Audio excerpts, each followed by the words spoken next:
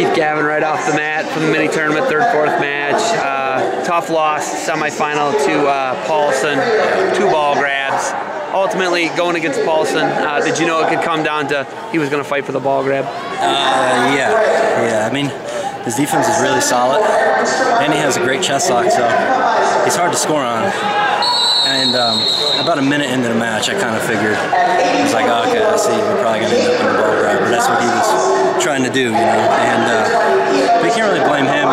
You know. I mean, it's like I, I didn't get my offense off enough. I came, you know, I had like an arm drag that was kind of half-assed, uh, and almost single leg, and so I mean, my offense wasn't good enough, you know and I lost two ball draws. And you know, it comes out his color both times. I mean, what do you do? Obviously, you train for that, but right. they're so the Paulsons. I mean, they both have the same style. They're so strong. They both have great defense. Um, how do you train for the ball grab with the Paulsons? Yeah, it's a hard position to win against anybody, but um, it sucks. I mean, you train your ass off, and then to lose like that, it's really hard. To, you don't feel like you lost. You know, you don't feel like you got out or you got beat. You just feel like you know, you almost feel cheated, but that's the way it is. That's that's the rules, and you know, like I said, I it's my fault for not having good enough offense in that match. Okay, you've been kind of split in time, is my understanding, between LVAC and Ohio RTC. Is that correct? Uh, yeah, yeah. My my wife got a job in Columbus, Ohio, so uh, we pretty much moved out there, and uh, after NCAA, so not that long ago, and then Pat Santoro and LVAC has been awesome about it, and still uh, you know supporting me. Because well, it was kind of you know an odd time to do that, but I had to do it for my family, so. But yeah, that's where I'm at now. I'm at Ohio.